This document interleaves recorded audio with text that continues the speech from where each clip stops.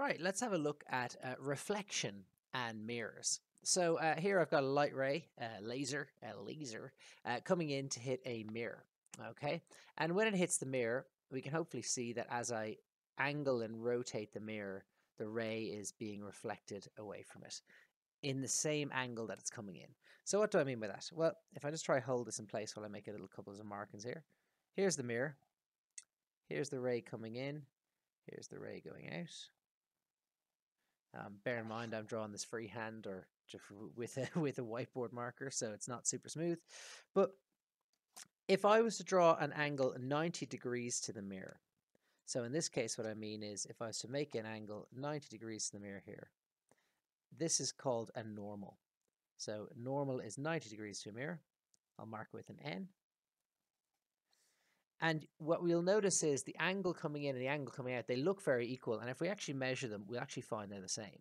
So the angle of incidence, if this is the incident ray, then the incident angle is the one made with the normal.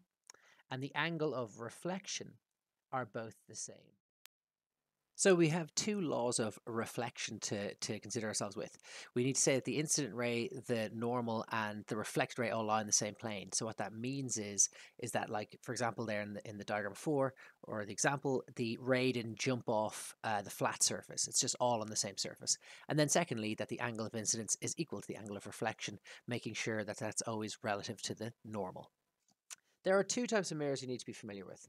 Um, you need to be familiar with a concave mirror and a convex, which is the reverse. Um, firstly, let's just clear up. I, I prefer to use the terms converging and diverging, which you'll see now. Now, it's hard to see this with just one ray of light coming in. It seems to be following the same rules. It, when it comes to an angle, it looks like it's coming out at the same angle if we treated this at, as flat at the exact point it touched. But let's change it to uh, three rays, just see what's happening. So when I've got three rays of light, you can see here that they are all converging or meeting at the same point. Okay, now this is when it's a perfectly curved mirror. You can see when I move it off, they go a bit all over the place. This is uh, because not a perfect circle, but just taking this point here where it's hitting uh, all the rays hitting it parallel coming together, we can see that this is forming. Uh, all the light rays are meeting at one particular point, this point here, and this point is called the focal point.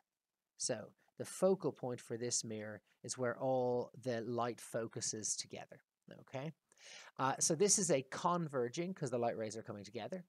And it is a also known as a concave mirror. So concave and converging. Conversely,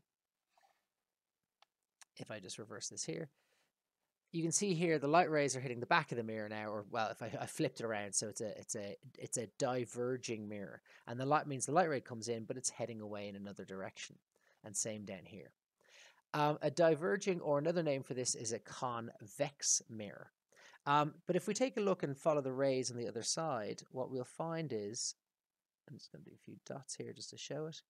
If I continue the rays, that they do meet on the other side or they meet behind the mirror. And that means the focal length of a convex mirror is always behind it. Um, when we're doing this mathematically, we'll always make sure to use f as a negative value uh, to signify that the focal length is behind the mirror.